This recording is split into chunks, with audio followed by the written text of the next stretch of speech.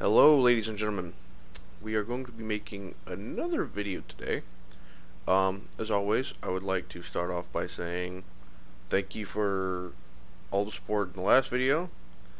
Um, that one did even better than the other video, which did better than that video, and then so on. But, um, uh, yeah, uh, not possible without you guys, so I want to thank you for that. And, uh, without further ado, let's get into this video. So, the main crux of this video is going to be the Helminth, and my major problem with it. And essentially it boils down to, um, character has bad ability, so let's get rid of said bad ability for a better ability, whether, you know, that's Eclipse for damage, or Roar, you know, Nourish, whatever. Basically what's up happening is that you're just going to take one ability and slap it on to another because you think that other ability is either bad or is not as good as an ability that already exists. And that has to do with two things. It's uh, my issue with a band-aid fix, is what I like to refer to it, um, where you're basically, uh, you are, and also the devs, admit there is a problem, but instead of fixing that problem, we will just give you the tools to circumvent it altogether. Um, and, you know, it's like you see a car crash on the road, and instead of you know like making sure the people in the car crash all right, you know, like getting all that shit taken care of. Now we'll just make another road to go around them, and uh, like it becomes like a memorial that you just drive past every now and then. Um, and that's how I feel about Helminth. Um, do I think it's fine that it's in the game? Yes. I mean, I don't think there's any reason to get rid of it, especially when you have like you know a giant the the amount of people who abuse Gloom. Um, and I've also bought into this. I'm playing my Harrow here. Harrow is known for having the best kit in the game, where like all of his abilities synergize. And if you see right here, I have Gloom on one of his abilities. I know, shameful. Um, and it's actually it's horrible. I, I would like to undo this. I, I would. Uh, this is this is horrible. I don't like it. Um, so yeah, there is that.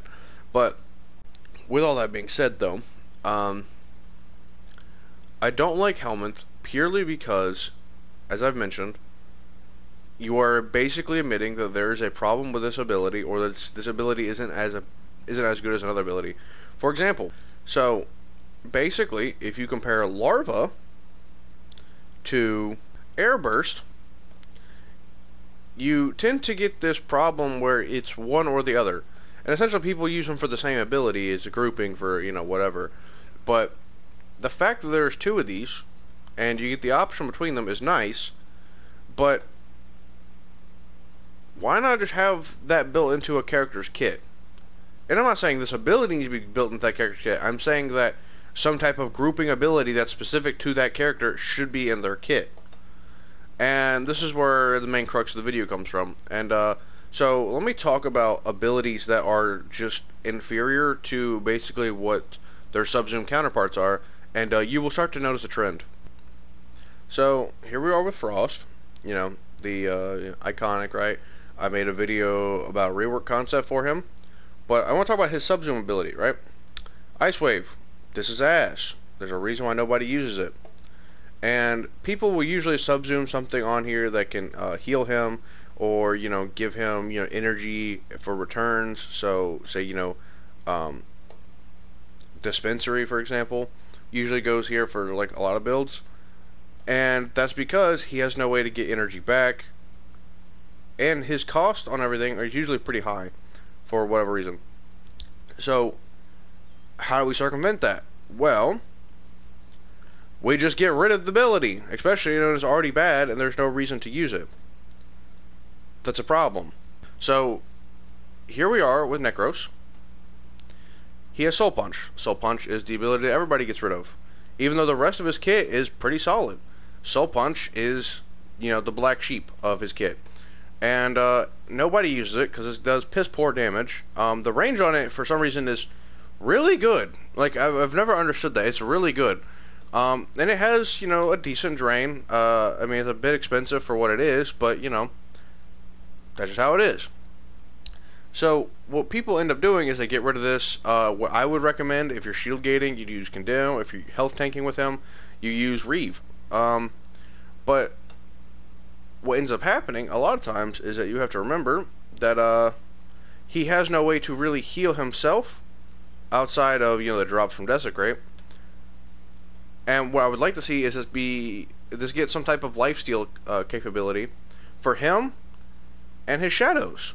If it did that, this would actually be a useful ability because the only way to heal your shadows currently is with your four. Now you could use Arcane Pulse. I use that for my build, but the idea of being able to use his abilities is the the key point here. Why get rid of something when I have the the actual an actual viable reason to keep it? On to the next character. So here's my Garuda. I love this character. I think she's one of the most fun frames in the game. Um, she's definitely one of my most played. But she has a problem. And it's Blood Altar. Why is Blood Altar in the game? Well, it's a healing ability. It has an AoE heal and it heals your allies and all the other shit. However, who cares? Um, because it does nothing to the enemy outside of being able to stun basically one guy so he can't move until they die or you get rid of the altar, uh, which is cool, but she does not have the health necessary to health tank. Even if you're running the, you know, the Dread Ward, you know, invulnerability stuff, it does not matter. It she doesn't have the health to health tank, especially when you have bloodletting, which is where she gets most of her energy from. She does not have the health, and she doesn't have a good CC. You can maybe argue, you know, her talons could, you know, stun them for however long they stun for, but that's not very long. So she has no way to really like health tank, even though you want to treat her as a health tank. She has no way to CC, especially if you decide to use her uh, talons, which her talons are extremely strong. Uh, do not sleep on Garuda's talons, but um, she she's bad, or at least this ability is. This ability is dog shit. Now there's maybe other reasons why you'd run this on a different character, but because if you're going to play a melee Garuda, then you are constantly moving, having to advance toward your enemy, and uh, you can only block damage from Dread Ward from the front. And to be honest, I don't like the uh, or I don't like Dread Ward's passive here, where like you get the augment for it, and you know it makes you invulnerable. Because now it doesn't it doesn't actually make you invulnerable; it just makes you deathless, meaning you can't die. You'll still lose health, but you can't die. That the, there was a massive nerf to that augment. Um, but the mirror itself has another condition. The insta kill threshold is retarded. I'm going to be completely honest. I would like to see that get removed and just scale it based off the like heavy damage of your uh, Garuda's talons. Because if you did that, then yeah, you could potentially one-shot people with this, and uh, it become viable. But whatever. Um, but yeah, Blood Altar is the problem. Now let's show the you know alternative here, and of course it's Gloom. It's always Gloom. It's all it'll always be Gloom because it does exactly what Blood Talons or uh, Blood Altar does. Okay, but better. It CCs them. They they can hardly move. I mean, with my build, they're 90% slow. That means they basically can't do anything. 12% life steal. Um, when you're using you know weapons that hit really hard, or just her talons in general, uh, which will do you know like six million on a crit. That's all your health back, regardless of you know what is going on. If you have your dread mirror up, that means you take you know the the full effect of taking all that frontal damage without getting hurt, and gloom. So whoever's around you really can't keep up to shoot you or whatever to hurt you. So yeah, it's gloom. Gloom is literally the better version of Blood Altar in every single way. It slows them, so it has a CC component. It heals you, which is what she needs. That's what her. Uh, that's what the original ability did this, or uh, the original ability did to this. And most importantly, it allows her to move. So why wouldn't I use Gloom? And last but not least, we have Qorvex. I chose Qorvex for an interesting reason. Because there is this idea that all the newer frames who come out are better than the old ones. And I think on average they tend to be. They, they have a more like rounded kit. It's not just oh their first ability is the weaker version of their fourth, and you know their their second and third ability are like utilities and whatever. This is you know like the complete package. You know, we have basically you know the uh, the Zhongli you know totems from Genshin Impact. Uh, we have uh, some Doom walls or some shit. I don't know, like the, I mean, they're cool, but they're not really good. Um, basically, rolling guard without the invulnerability. Uh, and then we have Wisp's Force, except it actually does damage and is good. Um, but obviously, what ends up happening is even with a kit like this, overall, I think he has a really good kit. I, I think it all flows together uh, very well. Like how his one will be boosted if you know you use containment wall near it, or that his uh, three will be increased by doing damage with his other abilities. Like there's good synergy in here, but is it worth keeping them? And for example, say if you ran his three and his two, they were the same ability. You pop the wall, and then you know, say for the number of enemies you were to hit or whatever, gave you your uh, you know your domestic guard or whatever. Did I say domestic? That's disometric. I read that completely wrong. But um, anyways, I can't believe I did that. But yeah, usually one of these two abilities go because um, there's better grouping abilities. So why keep that? Um, and why do I need to worry about having rolling guard when I could just have rolling guard? That's kind of how most people view this. The only benefit this really brings is that, you know, it allows you to use it for your teammates, so they don't have to worry about stats effects, which is nice. But you know, it's not like this actually gives him more armor. You know, if it was like every you know one like guard thing he got was like a hundred or two hundred armor or whatever, then yeah, that'd be really cool. Or maybe it scales in armor and that's how you got your armor from it. I don't know. But the point is, you know, they don't really do anything. And you will get rid of them. You'll probably get rid of this for Nourish, something to heal you, or at the very least something like that. Uh, and you'll probably get rid of this for another grouping ability. Uh, one that can, you know, actually pull people together and not just like kind of slam them together.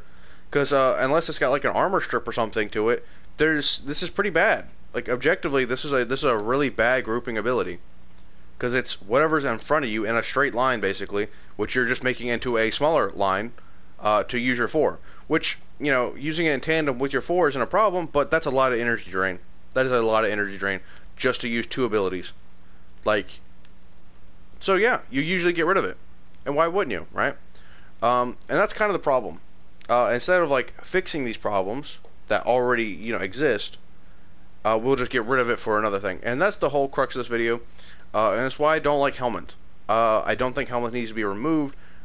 It should be there as an alternative option, not as in like best in slot, throw Nourish, throw you know Eclipse, Roar, whatever in here. Uh, and that's kind of how it is now. So, uh, anyways, uh, I want to thank you all for watching. Uh, and this is this video is for that one guy in my comment section who said he wanted a Helminth video, so we got the Helminth video. Um, I don't think Helminth is inherently bad for the game. I just think how it's used as like the end all be all to fixing a fucking Warframe's problems is the issue. Because instead of getting, you know, tweaking, you know, say this ability to give you armor, or, you know, maybe fixing this so that that does some armor strip for the enemies caught inside of it, or um, something, we're just going to leave it as is, as is, and maybe later down the line we get an augment to uh, to actually overcome the shortcomings that these abilities already have. And that's kind of my issue. But uh, anyways, thanks for watching. As I said, um, you guys are killing it with the uh, you know the views and the subscriptions. I'm loving that. I love you guys. Kind of. I don't know any of you really personally, anyways. But uh, thanks for watching.